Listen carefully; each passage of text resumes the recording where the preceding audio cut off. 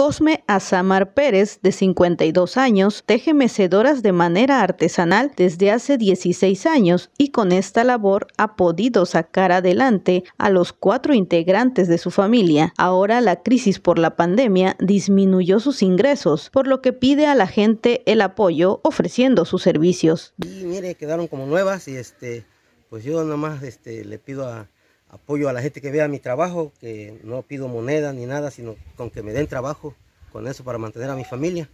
Y este, sin, ahora sí, sin... Don Cosme es originario de Arroyo León, en el municipio de Playa Vicente, pero lleva 18 años viviendo en Tuxtepec, Oaxaca, en la calle 16 de septiembre de la colonia Centro. Con la pandemia, el trabajo de don Cosme se vio disminuido, pues de tejer entre 10 y 12 mecedoras pasó a trabajar máximo 5 y mínimo una pieza al día. Sin embargo, para él su filosofía de vida es que todo hay que hacerlo con gusto y luchar por el trabajo y hacer las cosas lo mejor que se pueda. Asamar Pérez también es aficionado al fútbol, entrena y participa para competir en torneos locales. Finalmente comparte el número 280 87 1250 718, al cual se pueden comunicar para cualquier encargo de mecedoras que necesiten tejer. Tan solo se lleva de tiempo entre 40 minutos tejiendo una mecedora mediana, una hora y media o tres horas máximo con los muebles de mayor tamaño.